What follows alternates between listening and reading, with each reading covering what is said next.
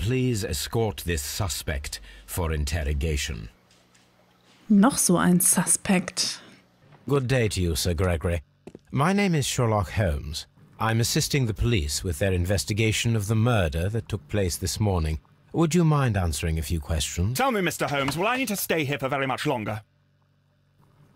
Meine Güte, was ist denn das für einer? In seiner Therme ist gerade ein Mord passiert. Sollte er nicht ein bisschen kooperativer sein? Oh Mann, habe ich vorher gesagt, der ist mir suspekt. Ich kann ihn absolut nicht leiden. Unglaublich, okay. So, was haben wir denn hier? Mehrere Muttermale. Hm, hier scheint erstmal nichts Interessantes zu sein. Andere Seite vielleicht. Der hat aber schon viele Falten auf der Stirn. Sieht eigentlich noch recht jung aus, wie ich finde. Aber gut. Ja, der Klunker hier. Siegelring, adlige Wurzeln. Mhm, trotzdem. Muss man sich nicht so benehmen, wie ich finde. Goldkette, Kaschmirweste. Ein reicher Mann. Davon bin ich ausgegangen. Ein arroganter Ausdruck. Aber sowas von. Und seine Mundform zeugt von Geringschätzung. You are the manager of the baths, is that correct? Yes, I'm passionate about archaeology. I wanted to restore the ruins. My ambition is to open the baths to the public. Living archaeology can be a profitable business, although now I'm not so sure. I see. When do you wish to begin using the baths? When the archaeological researches are over, I will be free to complete the restoration. It is the usual process. Mhm. Ach so, die sind überhaupt noch nicht offiziell eröffnet gewesen. Mhm. What was your relationship with Sir Rodney Bentcliffe? You were not particularly close. He had an unpleasant temperament. Suspicious. Authoritarian. Unkind. People possessed by genius may be forgiven for their nature, but not by me. Was he obstructive? Not at all. Everything he did led us to greater success. He helped us increase the potential of the building. How was the work progressing before Sir Rodney's arrival? Rather slowly, I would say. Wie lief ihre Arbeit? So. Wir könnten natürlich auch seinen Brief hier erwähnen. Den haben wir ja vorher auch schon erwähnt. Blutverschmierter Schlüssel, nein. Gekühlter Champagner, glaube, hat damit auch nichts zu tun. Die römische Münze. Nee, ich glaube, ich, ich würde den Brief nochmal ansprechen. Sir Gregory, could you please explain this letter? You expressed the wish to call off the research work at the baths. It was all about Blinkhorn. He was merrily digging away and taking very little care about it, ruining everything and finding nothing of any value. But the arrival of Sir Rodney changed your mind? Sir Rodney's work was extremely promising, and it was good for the bath's publicity. So yes, I changed my mind. Please tell me what happened this morning. The test that we performed this morning was a success. The steam was working well. But then, of course, that awful murder. What did you see? The steam was too thick to see anything. But ask Garrow. He saw the body first. Alle weisen auf den Garrow hin. Komisch, ne? Also hier ist der Gesichtsausdruck von ihm ganz besonders. Ich kann es gar nicht beschreiben. Ich finde es wirklich widerwärtig. So, was gab es Ungewöhnliches? Das geschmolzene Silber und der Champagner. Ich spreche erstmal den Champagner an. Did you bring a bottle of champagne to the baths? Absolutely not. Sir Rodney did, I think. Okay, das macht Sinn. Had Sir Rodney exhibited any recent strange behavior? Look, I'm not a suspicious fellow, but I think that he had professional interests elsewhere that he did not wish us to know about. Why should you think that? Where? I have no idea. But after all, it was not my business. Some melted silver was found inside the steam room brazier. Do you know where it came from? Silver? No. Are you aware that Mr. Garrow is under a form of medication? Garrow? No. But I never liked that parasite. Do you believe him to be capable of murder? Well, he did have blood on him. Does that make him a murderer?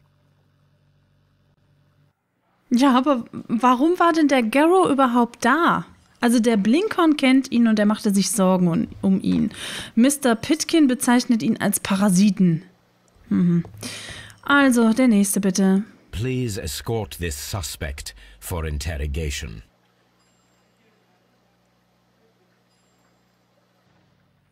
Oh, A good day to you. My name is Sherlock Holmes. I'm assisting the police with their investigation of the murder of Sir Rodney Bentcliffe. Would you mind if I asked you a few questions? Ah, uh, uh, I am Tristram Garrow. oh je. Gut, wir fangen mal an. So, was haben wir hier? Er ist unrasiert. Mhm. Er hat Augenringe. Oh, sonst soweit erstmal nichts. Ihm steht der Schweiß auf der Stirn.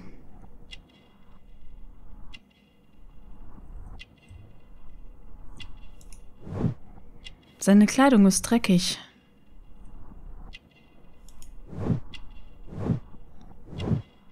Und er ist abergläubisch. Er trägt ein Hamster-Amulett. What is your occupation? I, I am a councillor at the uh, district chamber. And What were you doing at the baths? Well, I I follow the researches. I am uh, I- I- interested in, in archaeology. You follow them.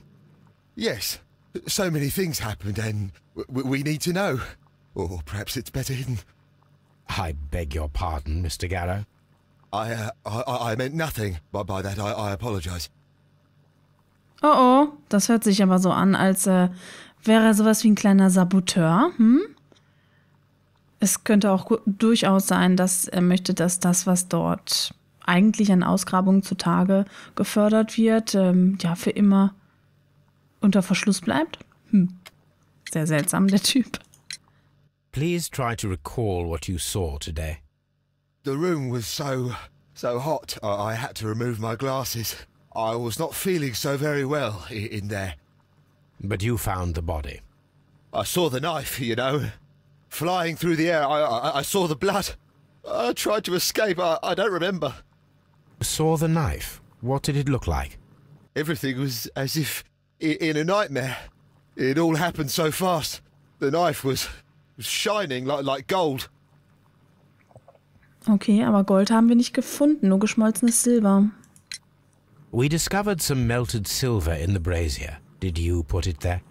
It didn't help. The power is too strong. Bitte? Das hat nichts gebracht. Er war zu stark? Had Sir Rodney exhibited any recent strange behaviour? Well, he, he had been rather secretive these past few days. Last Thursday, for, for example, I, I saw him leave. When he returned, it, it was very late. He showed me some wet coins, Roman coins, and uh, he- started to laugh.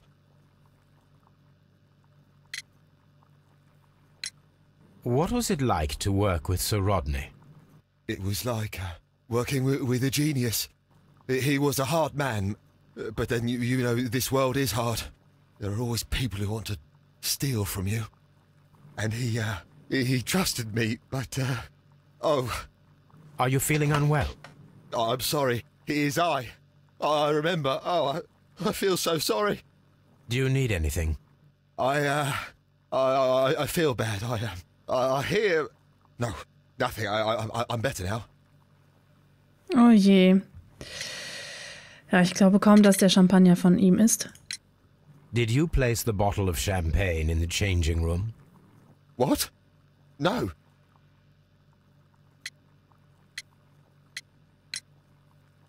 His ring! Oh, it should be destroyed.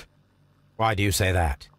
It is a cursed ring, digging dark secrets. Really?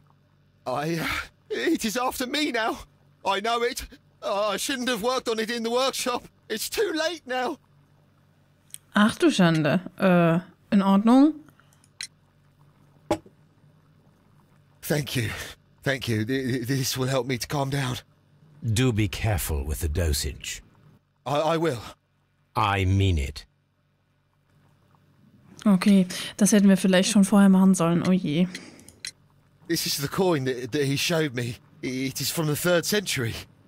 It must be very rare. No, I, I, I, I don't know. Garrow appears to be rather mentally disturbed. Either that or he is a good actor. Okay, Puh, das war jetzt aber schwierig. Interessant, dass wir mit ihm kein Quicktime-Event hatten. Oje, oje, es könnte natürlich durchaus sein, dass wir keins hatten, weil wir ihm die Medizin erst so spät gegeben haben. Das könnte sich jetzt natürlich als Segen erweisen oder auch als Fluch, nämlich als Segen, wenn er uns dadurch sein wahres Ich gezeigt hat, quasi.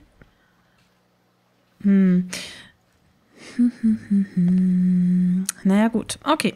Wir schauen uns erstmal hier die Porträts an. Da hätten wir Percival Blinkhorn. Percival Blinkhorn kann man als Vollblutarchäologen bezeichnen, der immer und überall die Schätze im Boden erkunden will. Vermut Vermutlich übt er diesen Beruf seit 15 bis 20 Jahren aus und offenbar findet er immer noch Gefallen daran.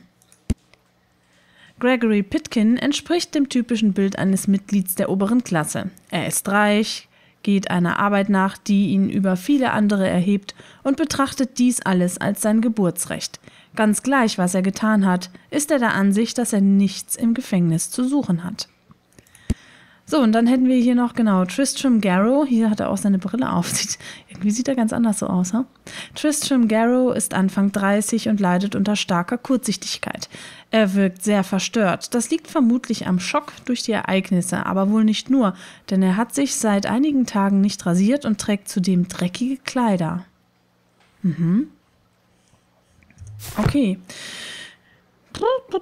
Gut, ich ähm, wüsste jetzt erstmal nichts mehr damit anzufangen. Hier komme ich nicht rein. Das dürfte irgendwie das Büro von Lestrade sein. Kann ich mir das einige Sachen hier vielleicht nochmal ansehen? Hm. Hier habe ich ja fast alles mitgenommen, nicht wahr? Ich könnte mir vorstellen, dass wir uns nochmal ein paar Sachen unter dem Mikroskop in der Baker Street ansehen. So, da hatten wir einmal die Form der Waffe. Ist ungewöhnlich lang und gebogen. Mhm. Wir haben alles erfragt. Tatsächlich. Mhm. Okay. Gut. Ich gehe erstmal hier nach vorne. Da oben geht's auch noch rauf. Mr. Holmes? Mr. Holmes. Okay, gut. Dann machen wir doch einmal unsere Beweisführung auf und schauen, was wir hier deduzieren können. So. Garrows Medikamente. Kaputte Brille. Sehr flüssiges Blut. Champagner. Gestohlene. Warum ist die Brille kaputt gegangen? Er konnte doch gar nicht sehen. Und gestohlene Notizen. Seltsame Wunde könnte das sehr flüssige Blut damit zusammenhängen, dass es sich vielleicht auch um eine Eisklinge gehandelt haben könnte.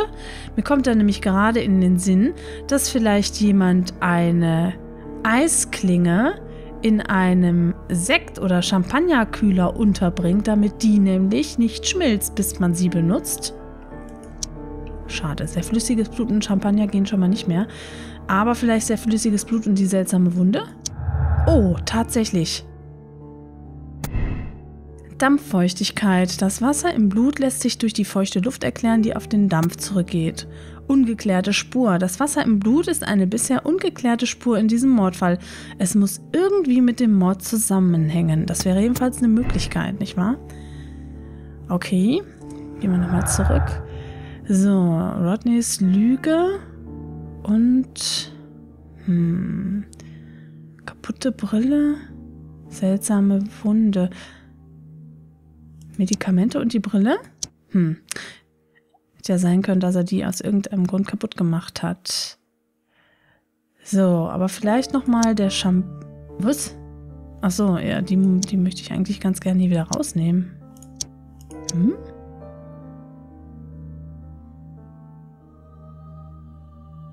Moment. Garrows Medikament und rechtzeitiges Auftauchen, nein.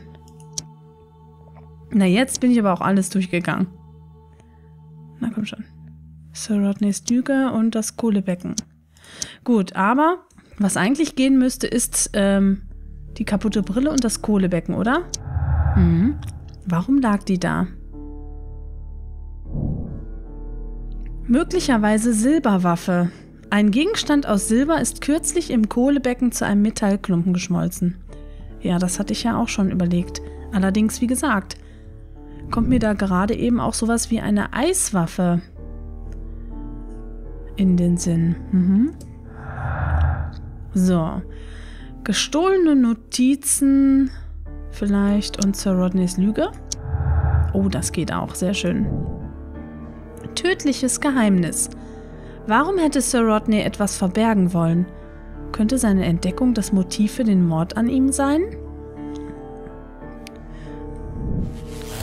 Oh, das habe ich doch gar nicht eingeloggt eigentlich, oder? Na gut. Die letzte Expedition. Finden Sie heraus, wohin Sir Rodney wenige Tage vor seinem Tod gegangen ist und lüften Sie sein großes Geheimnis. Mhm. Da haben wir jetzt was Neues. Tab Sir Rodneys letzte Expedition. So, Beweise. Auf Landkarte. Eine handgezeichnete Karte aus Sir Rodneys persönlichen Gegenständen. Auf ihr ist eine Stelle in der Nähe von St. Albans, nördlich von London, markiert. Wo genau die Stelle liegt, kann auf der Karte in der Baker Street herausgefunden werden. Gut, dann äh, schauen wir also mal, was für eine wichtige Entdeckung Sir Rodney gemacht hat.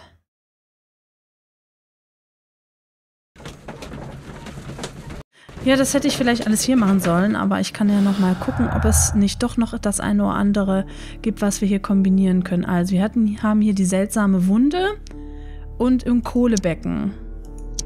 Nee, schade. Aber der Champagner vielleicht. Na, ach, das hatte ich doch schon versucht, nicht wahr? Ja, das habe ich alles schon versucht. Die Auswahl heben wir auf. Ich finde das nervig, dass diese Sachen hier immer so hin und her wandern müssen. Könnt ihr mal stehen bleiben, bitte? Rechtzeitiges Auftauchen. Das Medikament, ich glaube, das ist eigentlich jetzt nicht wichtig. Aber wir haben natürlich eine gestohlene Notiz. Vielleicht ist die natürlich auch verbrannt worden. Nein. Aber sie hat was mit Pitkins Plänen vielleicht zu tun? Mm Nee. Nee, nee, nee. Das lässt sich ja alles nicht mehr sinnvoll miteinander verbinden. Okay, dann würde ich sagen, springen wir direkt in die Baker Street.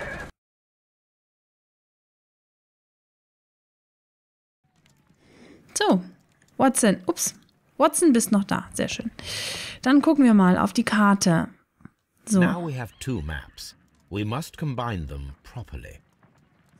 Genau, wahrscheinlich können wir die untere hier wieder ziehen. Sehr schön. Ähm, gucken wir erstmal nach irgendwas, woran wir uns halten können. Soll das hier vielleicht ein Fluss sein? Ich glaube, am markantesten ist das hier. Dieser blitzförmige Strich. Danach werde ich jetzt mal suchen. Oder Ne, das Kreuz gehört ja hier so dazu. Da ist es doch. Da haben wir es. Achso, können wir das auch noch verschieben? Na, doch, das ist es. Watson, pack your bag. We are visiting a location in St. Albans marked on Sir Rodney's map. So, St. Albans. Oh, vielleicht hätte ich noch mal vorher ins Archiv gucken können. Die beiden haben das ja jetzt hier nicht dabei. Naja, notfalls können wir eben dann wieder zurückspringen zur Baker Street und dann ist gut.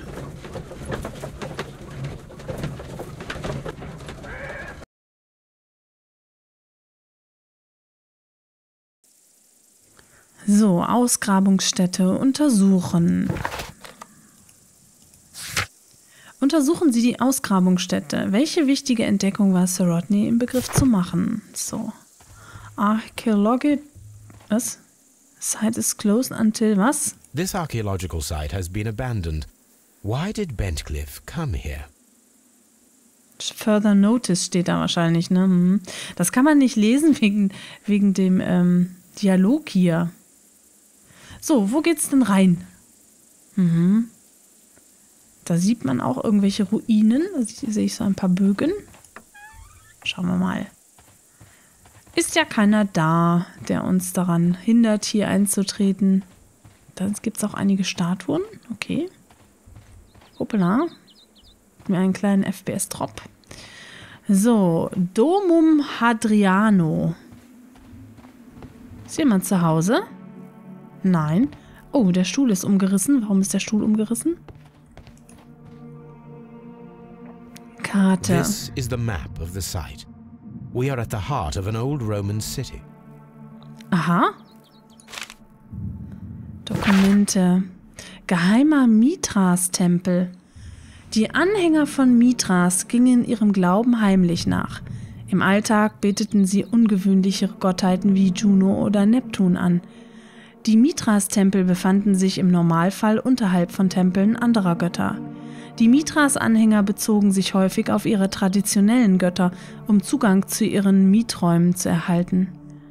Das Mieträum im französischen Dio ist ein interessantes Beispiel, denn dort befand sich der Eingang zum Tempel unterhalb einer Statue der Diana. Der Eingang wurde höchstwahrscheinlich durch einen raffinierten Stein- und Seilmechanismus sichtbar. Der Mechanismus selbst wäre womöglich niemals entdeckt worden, wenn er nicht durch einen Wassereinbruch zerstört worden wäre. Dabei wurde auch der Weg hinunter in das Miträumen offengelegt. Mithras-Tempel gibt es in Rom, Ostia, Numidien, Dalmatien, Britannien sowie entlang der Rhein-Donau-Linie. Seltener, aber immer noch vorhandenen sind sie in Griechenland, Ägypten und Syrien. Aha. Das ist ja interessant. Kann ich mir die anderen Sachen auch noch angucken? Nee, ne? So, hier ist wahrscheinlich noch mal eine kleine Übersichtskarte der Ausgrabung. Huch. Boah, Watson, erschreck mich doch nicht so. Er läuft draußen rum und ich krieg erstmal einen halben Herzinfarkt. Oh, hier, hier können wir was puzzeln. Das lasse ich mir gleich schon mal offen. Untersuchen wir erst dieses Regal.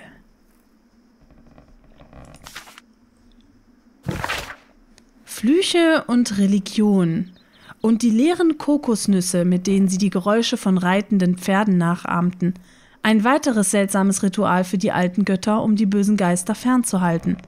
Wenn die Menschen spürten, wie das dunkle Auge auf ihnen lastete, warfen sie alle ihre Wertsachen ins Feuer. Schwarzafrikanische Stämme verbrannten Früchte, während die reichen Familien im antiken Rom keine Kosten scheuten und Silber oder Zinn schmolzen. Aha! Es gibt keine Aufzeichnungen darüber, ob solch wertvolle Opfergaben danach zusammen mit der Asche entsorgt wurden oder ob man sie zu einem späteren Zeitpunkt wieder verwendete. Ha! Das ist ja interessant. Er sagte doch, es hätte sowieso nicht geholfen, oder? Dann muss der Garrow irgendetwas Silbernes in das Kohlebecken geworfen haben. Oh, da bin ich mir aber ganz sicher.